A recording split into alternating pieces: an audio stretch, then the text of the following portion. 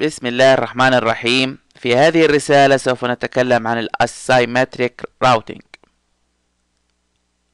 Asymmetric Routing التوجيه الغير متماثل. في الكثير من الأحيان عملية التوجيه تتأثر من خلال عملية التبديل أو ال switching على مستوى الطبقة الثانية. كمثال لدينا ال topology التالية اللي هي أمامنا. ونرى هنا أن ال VLAN 100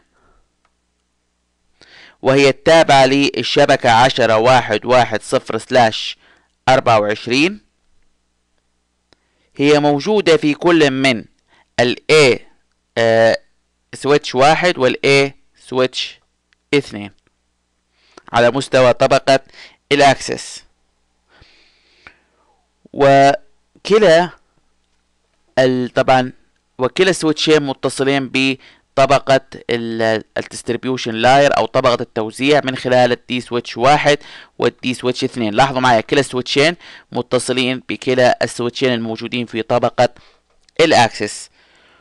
وفي طبقة ال distribution تم إعداد البروتوكول ال HSRP زي ما إحنا شايفين هنا اللي هو بروتوكول خاص بإدارة التوافرية على مستوى الأجهزة التي تعمل على مستوى الطبقة الثالثة أو اللي ممكن تكون راوترات أو switch ات متعددة الطبقات.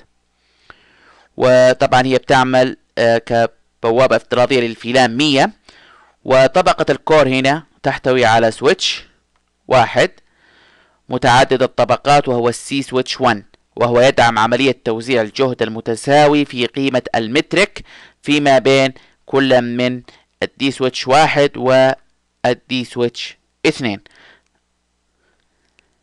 الآن لنفترض أن إعدادات ال HSRP جعلت ال D switch واحد هو ال active زي ما إحنا ملاحظين معانا.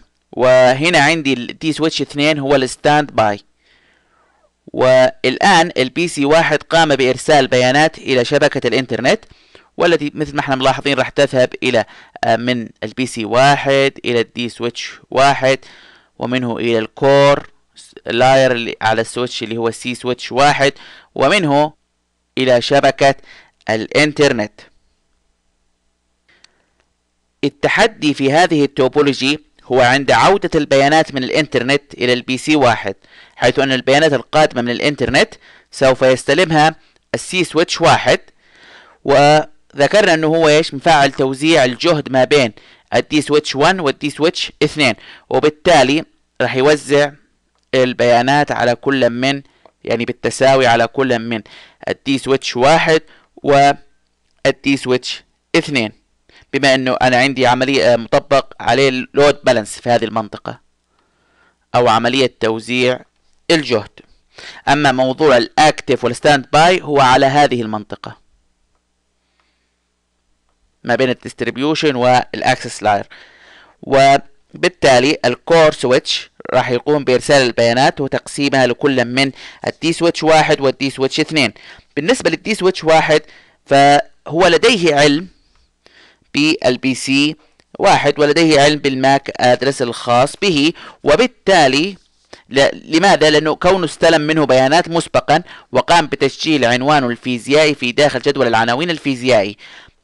تمام؟ بينما ال D switch 2 ليس لديه علم بال MAC address الخاص بال PC واحد وذلك لأن ال PC واحد بيستخدم ال D switch واحد كبوابة افتراضية. وبالتالي أنا عندي ال D switch واحد راح يرسل البيانات بشكل مباشر. لاحظوا معايا ما أرسلها إلى switch اثنين أرسلها بشكل مباشر إلى switch واحد ومن switch واحد ذهبت إلى ال PC واحد. هذا إيش؟ جزء من البيانات أو نصف البيانات. النصف الآخر هو في ال D switch اثنين. وبما أن ال D switch اثنين ليس لديه علم بال MAC address الخاص بال PC واحد فبالتالي كيف راح يتصرف؟ راح يتصرف بأنه راح يرسلها ك بما يطلق عليه unknown unicast traffic يعني أن ال switch 2 سوف يقوم بإرسال البيانات إلى كلا منفذي ال trunk اللي هو مت... لاحظوا معي اللي هو متصل مع ال switch واحد وال switch 2 وبالتالي ال PC واحد راح تحصل له حالة التوجيه الغير متماثل لأنه لاحظوا معي هنا راح توصل ل switch 2 وراح توصل نسخة لل PC 2 طبعا ال PC 2 راح يشوف عنوان المرسل إليه يكتشف أنها ليست له فيقوم بحذفها. بينما هنا راح توصل ل switch واحد ال switch واحد راح يرسلها إلى ال PC واحد فراح يستلمها. لاحظوا معايا هنا ال PC واحد استلم البيانات مقسمة وجت له من طريقه من طريقين وليس من طريق واحد يعني اتجاهين وليس من اتجاه واحد. وهذه هي فكرة التوجيه الغير متماثل. تنصح Cisco أن لا يتم نشر ال VLAN الواحدة على أكثر من access layer switch واحد. يعني لما يكون عندي أكثر من access switch يفضل أن أجعل كل switch متخصص مثلا ب VLAN. أو لو كانت ال VLAN صغيرة ممكن أخليه في أكثر من VLAN. بس تنصح أن أتجنب عملية توزيع ال VLAN الواحدة على أكثر من switch وذلك للتخفيف من حالات الان ناون يونيكاست اللي إحنا شفناها.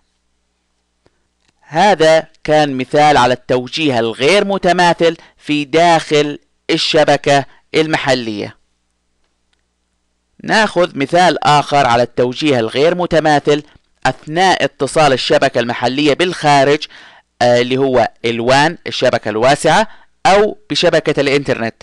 وهو في حال كان لدينا اتصال الراوترين في الشبكة المحلية أو الراوتر متصل بأكثر من كيبل أو منفذ آه، من خلال يعني هذه المنافذ تكون متصلة بالإنترنت أو بالشبكة الواسعة. وهنا قد تحدث حالة التوجيه الغير متماثل وهو أن البيانات التي يتم إرسالها من مسار واستقبالها من مسار آخر.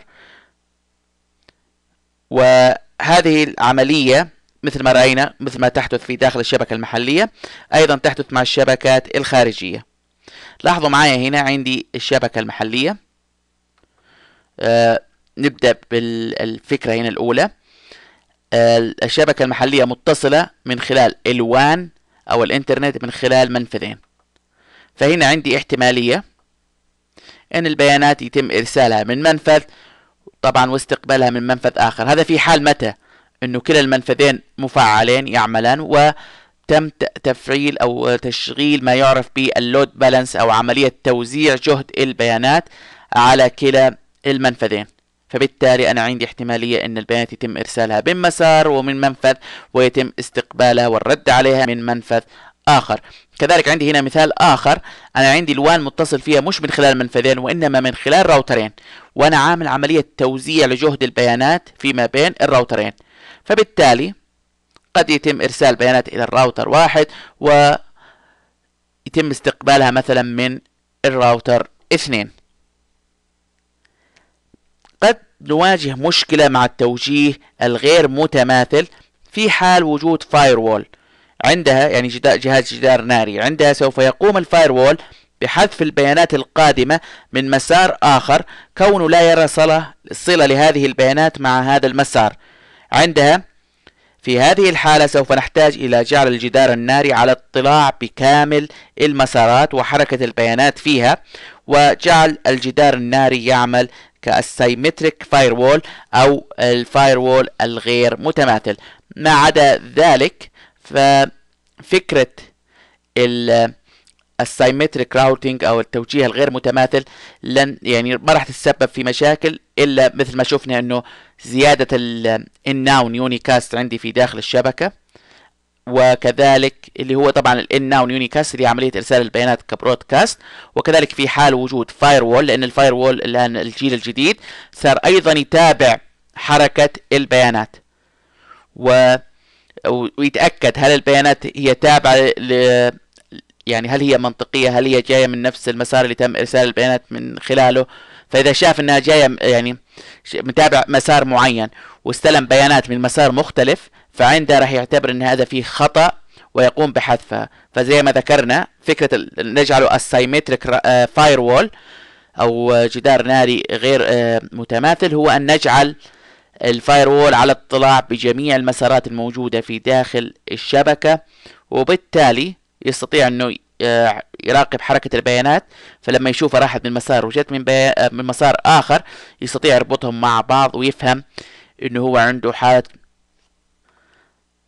حالة ال asymmetric routing أو التوجيه الغير متماثل فيقبل البيانات ولا يقوم بحذفها. إلى هنا نكون وصلنا إلى نهاية هذه الرسالة. أتمنى تكون وصلتكم الرسالة.